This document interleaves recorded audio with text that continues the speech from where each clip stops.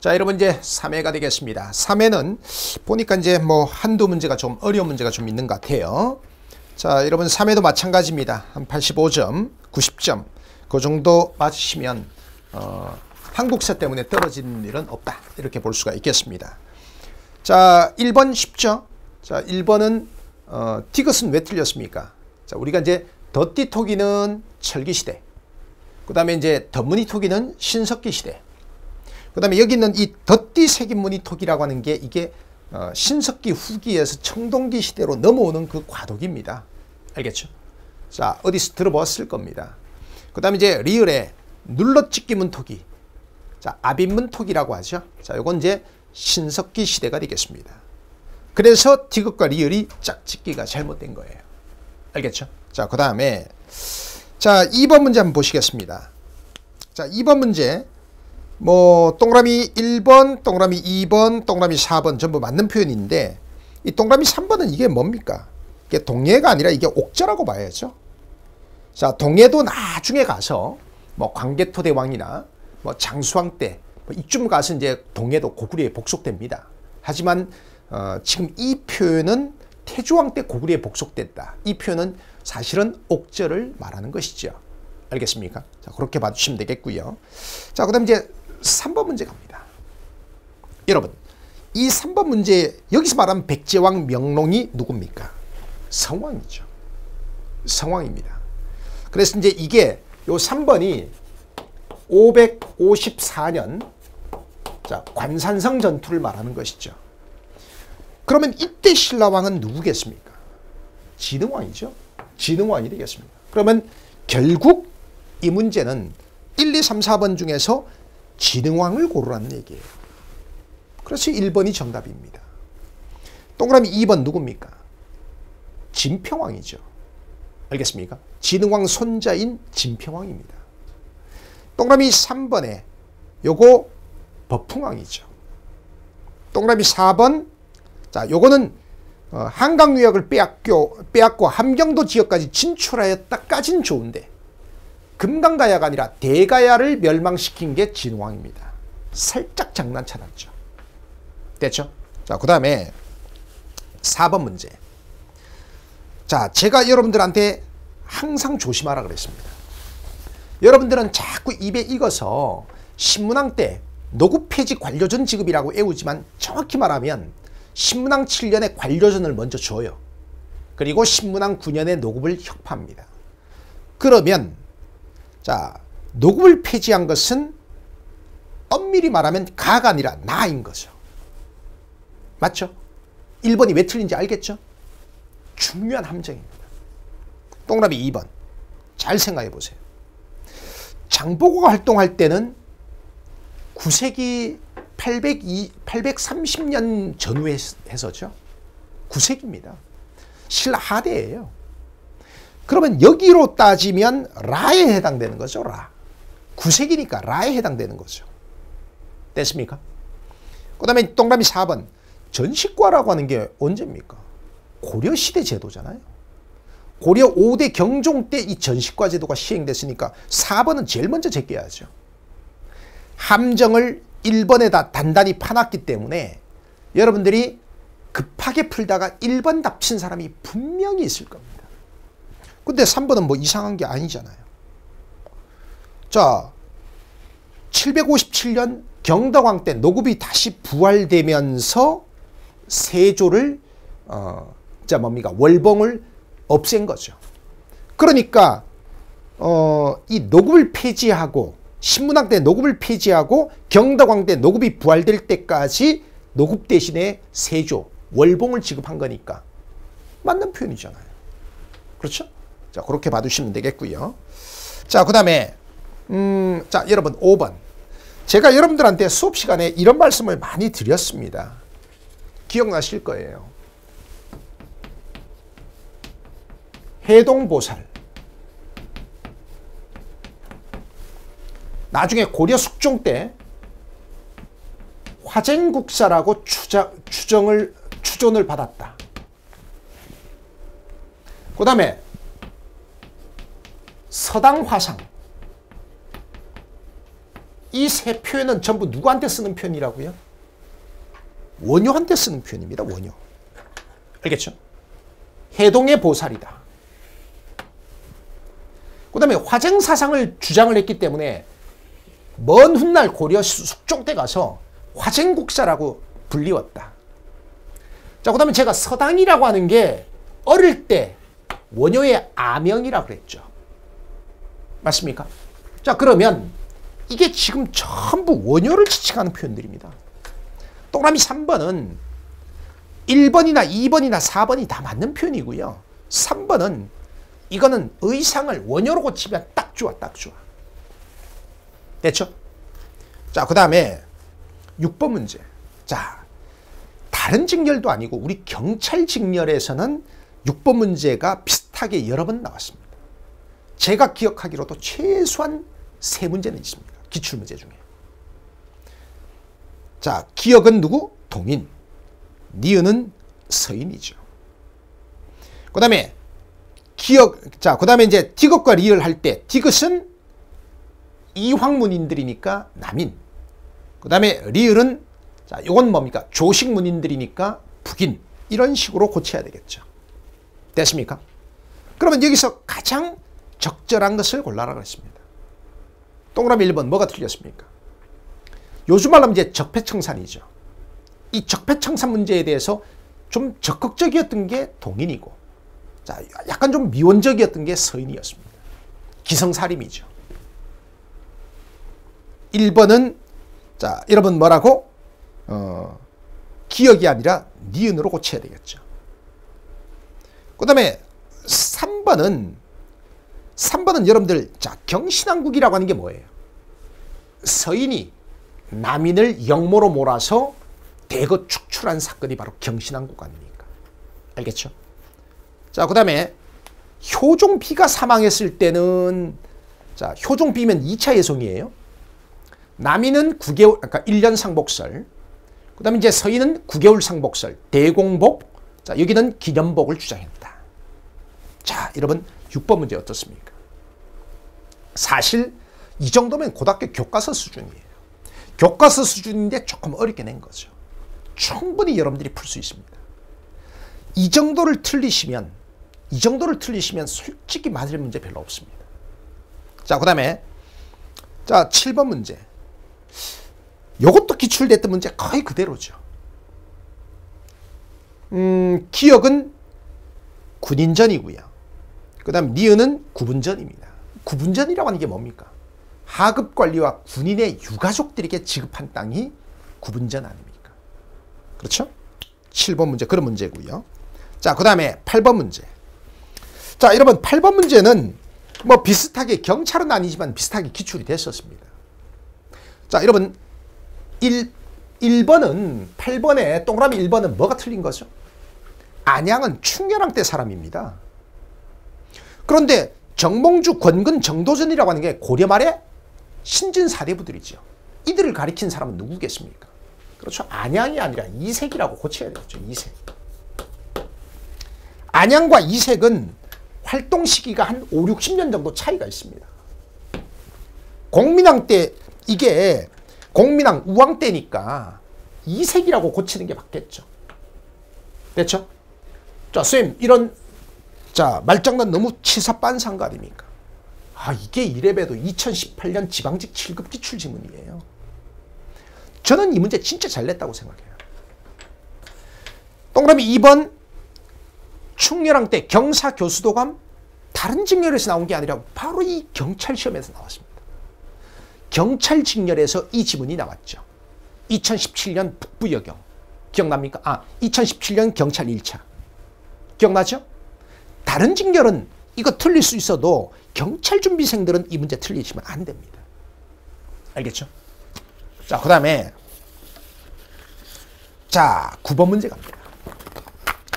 9번 문제는 맨 마지막에 보면 길, 흉, 군, 빈, 가. 자, 이게 국조 오레이죠. 나라의 다섯 가지 국가 의례를 자, 이렇게 정리한 책이 바로 국조 오레이입니다. 그러니까 1, 2, 3, 4, 5번은 국조 오레이가 편찬된 성종 때를 묻는 거죠. 맞습니까? 동그라미 1번 중종 때 이룬 행실도죠. 동그라미 2번에 최부라고 하는 사람이 쓴 표회료 성종 때입니다. 시대적 배경이. 2018년 국가직 구급에 나왔었죠. 동그라미 3번 동국 병감 문종 때입니다. 동그라미 4번 칠정산 세종이죠. 자, 여러분 9번 문제. 뭐 저는 개인적으로 이 정도면 굉장히 나름 깔끔하고 창의적인 문제라고 생각합니다. 됐죠? 자, 그 다음에 10번입니다. 여러분, 고려의 중앙정치기구를 물었어요. 뭐 동그라미 1번, 고려 초기에는 광평성이나 뭐그 다음에 순군부 등의 태봉의 관제가 여전히 존속하고 있었다. 자, 동그라미 2번에 6대 성종 때 자, 문무 관리는 무, 문산계로 향리, 노병, 악공, 그 다음에 탐나, 탐나왕족, 여진추장 등은 무산계로 정비했다. 동그라미 2번 다른 징결은 틀리면 안 되지만 경찰은 이 문제 맞아야 됩니다. 자, 경, 이게 나온 게 동그라미 2번 지문이 경찰에서 공시 역사상 처음 나왔거든. 2018년 경찰 뭐 1차인가 2차에서 나왔죠. 기억나죠? 동그라미 3번 맞는 얘기죠. 동그라미 4번이 왜 틀렸습니까? 중서문화성과 상서성 즉 이성을 통폐합해갖고 원간섭기의 첨의부라고 불렀죠. 중추원이 아니라 자 뭐라고? 상서성입니다. 말이? 자 그렇게 여러분들이 고쳐줘야 될 것 같고요. 자 그 다음에 이제 갑니다. 11번. 자 여러분 이 11번은 치사빤스하지만 도대체 동그라미 4번이 뭐가 틀렸을까요? 대학이 아니라 소학으로 고쳐야 됩니다. 이런 비슷한 기출 사례가 있습니다. 여러분들 중에서 오 선생님 너무 치사 빤스한 거 아닙니까? 아니에요. 이게 되게 중요한 겁니다. 소학은 주자 선생이 쓴 성리학 입문서입니다. 그래서 고려 말 조선 초의 그 신진 사대부들은 이 소학을 중시했습니다. 16세기 사림 양반들도 소학의 보급, 향약의 보급, 주자가래의 실천 이런 걸 매우 중시했습니다. 대학이 아니라 소학입니다. 알겠죠? 자, 그 다음에 12번 보시자고요. 12번. 자, 역사 편찬 활동을 물었어요. 정도전의 고려국사가 제일 빠르겠죠. 이게 이제 태조 이성계 때니까. 자, 그 다음에 자, 권제의 동국 세년가가 이게 세종 때니까 얘가 두 번째로 와야 되겠죠.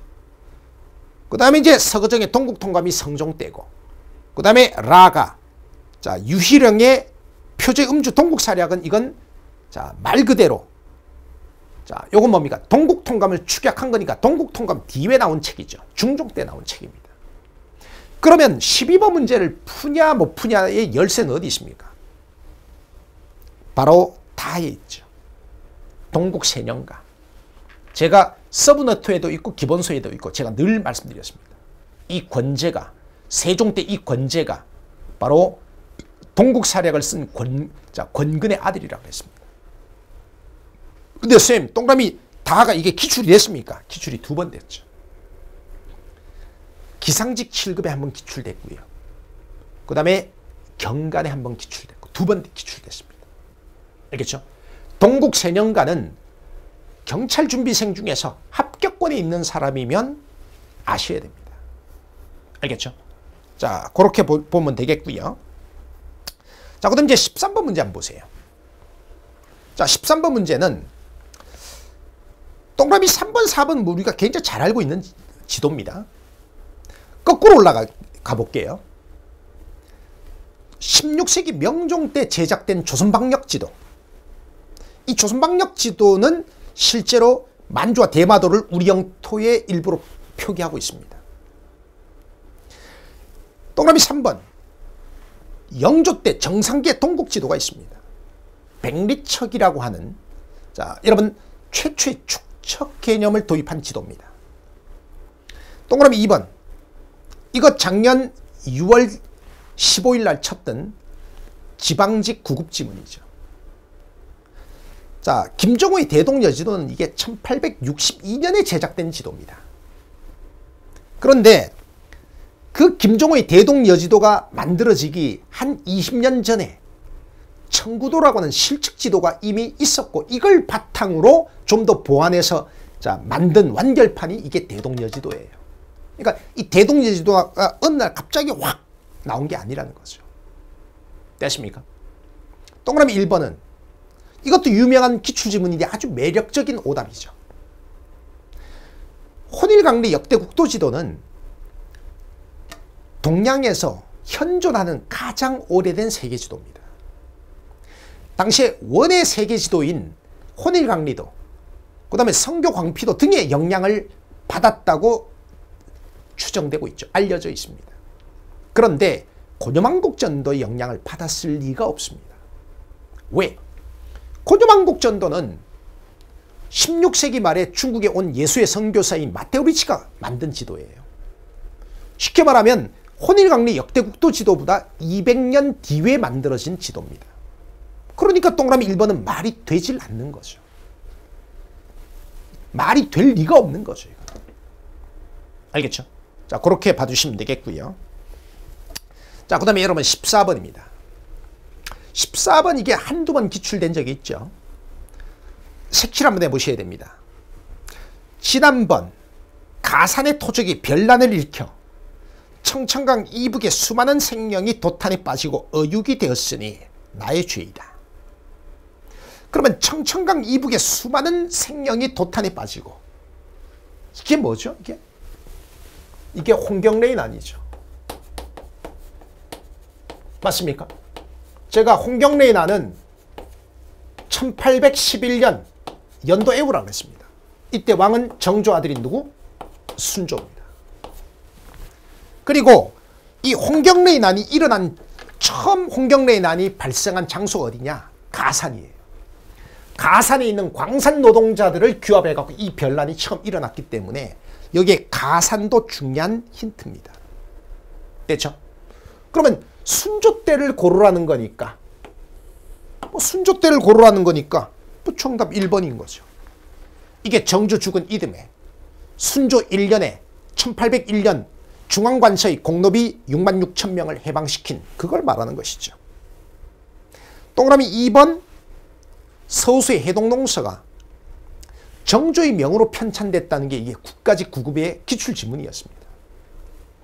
동그라미 3번 안정복의 천학문답이 이게 정조 때 나온 책이에요.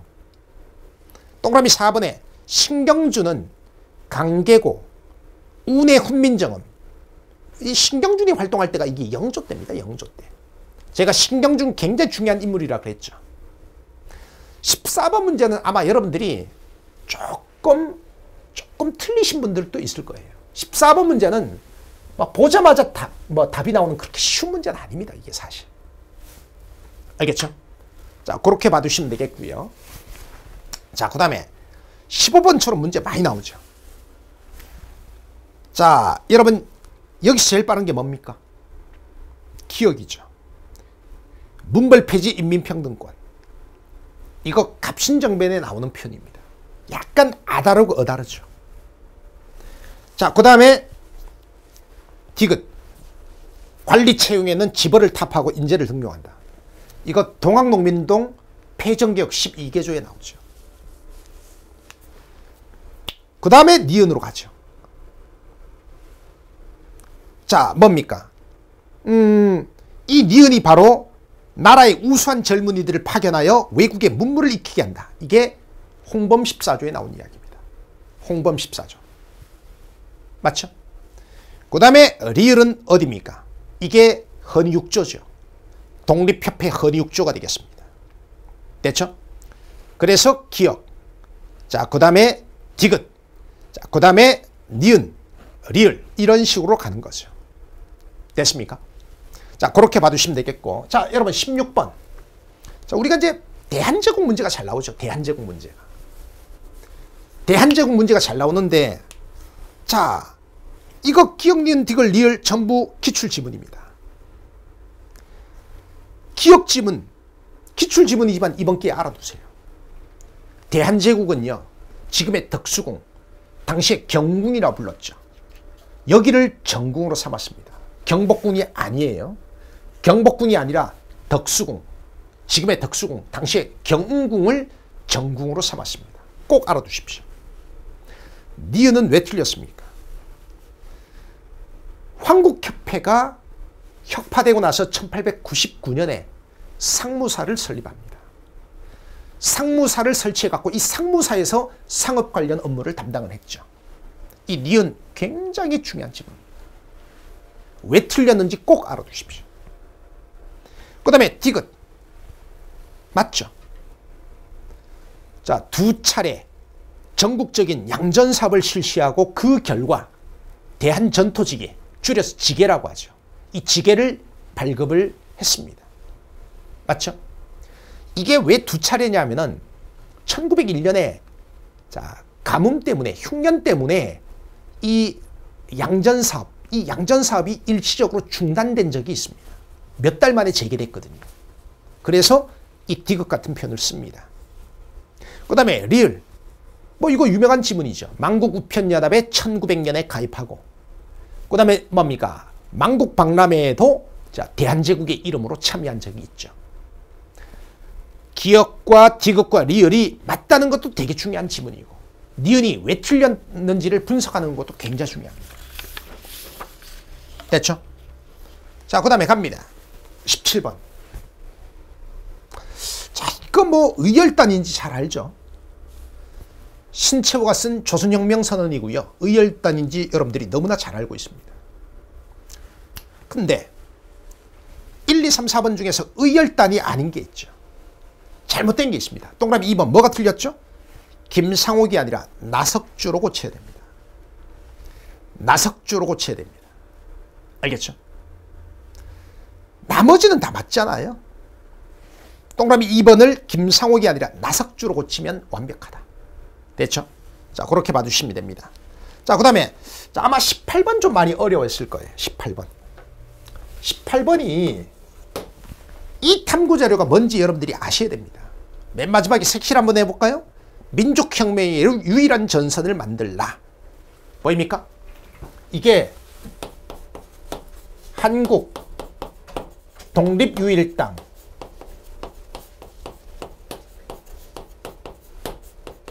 북경 촉성의 결의문입니다. 1926년이고요. 자, 누가 이 글을 썼냐? 안창호가 이 글을 썼습니다. 아마 다 들어는 봤을 거예요. 근데 이 탐구 자료가 좀 어렵죠. 그러면 결국 20년대 중반의 모습을 고르라는 거예요. 1, 2, 3, 4번 중에서. 자, 그러면 동그라미 1번 신사참배 반대, 반대 투쟁 일제 말기의 모습이죠. 30년대 후반 40년대의 모습입니다. 동그라미 2번 재미 한족 연합위원회 이것도 마찬가지죠. 태평양 전쟁이 발발할 즈음에 자, 이 미주 지역에 있는 우리 동포들이 조직한 단체가 이게 재미 한족 연합위원회입니다. 그리고 일명 맹호군이라고 하는 자, 한인 국방 경비대를 조직한 바가 있죠. 이거 태평양 전쟁 발발 무렵에 미주 지역 우리 한인 동포들의 이야기입니다. 동그라미 3번에 신경량파 문학이 맞겠죠. 신경량파 문학이 25년부터 한 대충 30년대 초반까지를 우리가 신경량파 문학이라고 하니까. 맞죠? 동그라미 4번에 요건 뭡니까? 30년대 이후에 사회주의적 색채가 강한 농민운동, 사회주의적 색채가 강한 소작쟁이가 자, 터져 나오죠. 그러니까 이게 이 탐구 자료가 한국 독립유일당 북경 촉성인지 이것만 뽑아주면 이 문제는 쉬운데 이걸 뽑아주기가 쉽지가 않은 거죠. 이거 사부님이 절대 사료할 때도 수업을 했었습니다. 우리 기본서에도 이 사료 있습니다. 색칠을 한다면 어디를 색칠을 해야 돼요? 한국의 절대 독립을 주장하라. 민족혁명의 유일한 전선을 만들라. 색칠하십시오. 이게 힌트입니다. 알겠죠? 자, 그렇게 봐주시면 되겠고요. 자, 19번입니다. 여러분, 이 가가 뭐죠? 43년 카이로 선언입니다. 맞죠? 나가 뭐죠? 그렇죠. 이거는 얄타 비밀회담에서 이런 이야기가 나왔죠. 이건 사실은 경강기출의 베이스를 두고 있습니다. 경찰 간부. 경찰 간부 기출을 여러분들이 풀다 보면 요게 출제가 된 적이 있을 거예요. 그러니까 43년부터 45년 사이에 요 사이에 있었던 걸 고르라는 거니까 사실은 되게 좁은 지역이죠. 사실 19번 문제 좀 어려웠을 거예요. 2번에 건국동맹 1944년 절대연도라 그랬습니다. 이게 정답이죠. 송기정 일장기 말소 사건이 1936년 베를린 올림픽이 배경이잖아요. 동그라미 3번 대일본 선전포고가 1941년이니까 여기는 카이로 선언보다 2년 전이죠. 그 다음에 동그라미 4번에 정지용, 김영랑, 시문학 요건 뭡니까? 작년 경간 지문이죠. 이게 30년, 31년 그때입니다. 알겠죠? 1930년, 31년 그때입니다. 뭐 참고적으로 여러분들이 꼭 동그라미 4번은 꼭 아셔야 되는 지문은 아닌데 참고적으로 봐두시면 됩니다. 알겠죠? 작년 경찰 간부 기출이니까 눈여겨 좀 보시기 바랍니다. 알겠죠? 아마 제가 봤을 때 뭐 여러분들이 18번하고 19번은 좀 체감적으로 조금 어렵지 않았을까. 뭐 그런 생각이 좀 듭니다. 자, 그 다음 이제 20번 갑니다. 20번. 여러분 20번 이게 가가 뭡니까? 1954년 제2차 개헌, 4.4.5 개헌이죠. 나가 이게 뭡니까? 1972년 제7차 개헌, 소위 유신헌법이 만들어지는 과정이죠. 맞습니까? 옳은 것을 골라라 그랬습니다. 동그라미 1번은 이건 뭡니까? 발췌개헌. 1952년 제1차 개헌, 발췌개헌의 주요 내용이죠. 동그라미 2번은 나, 즉 유신헌법의 주요 내용이 되겠습니다. 동그라미 3번은 어떻습니까? 이건 나가 아니라 가, 바로 2차 개헌, 445 개헌에 대한 설명이죠. 됐습니까? 동그라미 4번이 정답인데 이걸 뭐라고 합니까, 이걸? 자, 이걸 이제 얘네들이 유신헌법에 의하면 안정적인 국정 운영을 한다는 명분으로 대통령이 국회의원 정적수에 지금 우리 국회의원이 300명이니까 그 중에서 3분의 1이면 100명을 대통령이 일방적으로 지명하는 사람이 되는 거예요. 이게 유신헌법에 자 이런 조항이 있습니다. 그래서 이제 이들이 만든 별도의 교섭단체를 우리가 뭐라고 하냐 유신정우회라고 합니다. 유신정우회 이걸 줄여서 보통 우리가 유정회라고 하죠. 그러니까 뭐 유신헌법은 요즘 상식으로 따지면 뭐 말도 안 되는 헌법인 거죠. 동그라미 4번이 정답이 되겠습니다. 알겠죠? 자 그렇다면 지금 3회는 어떻습니까? 3회는 사실 뭐 그렇게 어려운 해차는 아닌데 여러분들이 조금 어려워했다면 제가 봤을 때는 18번, 19번 때문이다. 18번, 19번이 사실은 좀 체감적으로는 조금 어려운 문제들입니다. 자, 여러분 이걸로 3회 분석 강의 모두 마치겠습니다. 고맙습니다.